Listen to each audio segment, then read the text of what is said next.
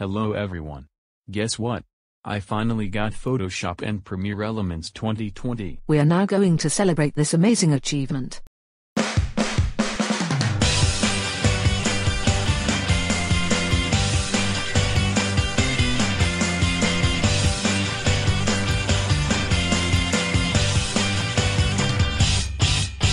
Shivering cold on a big city night.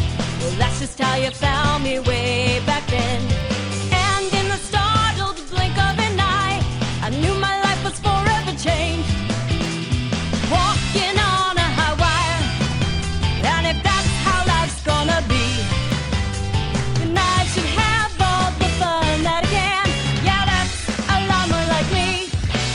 tonight.